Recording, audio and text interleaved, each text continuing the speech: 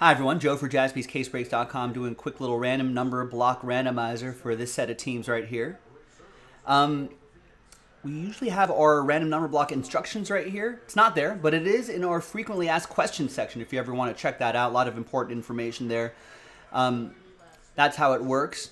And I think there might be some non-numbered cards here. Um, we're going to, all non-numbered cards will be randomized at the breaker's discretion. I'll probably, if they're hits, I think all hits should be numbered, but if they're hits, I'll separate them.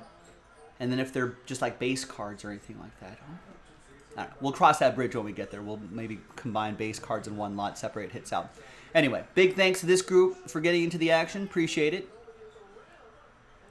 And there are the numbers right there. Each number represents a whole block of numbers.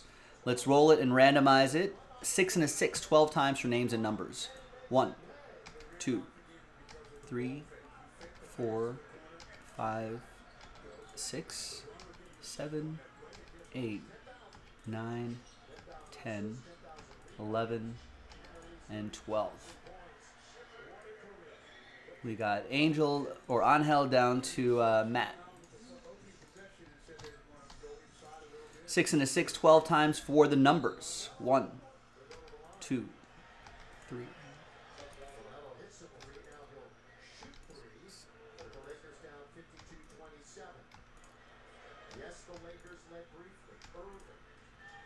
and 12th and final time. After 12, we got 2 down to 0. Remember, 0 gets any and all redemptions, including one of one redemptions. It'll tell you in that frequently asked questions area.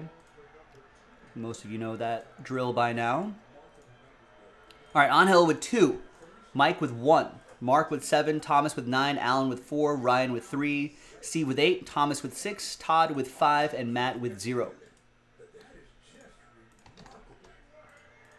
So once again, zero gets any and all redemptions, including one of one redemptions for that group of teams in that tab down there.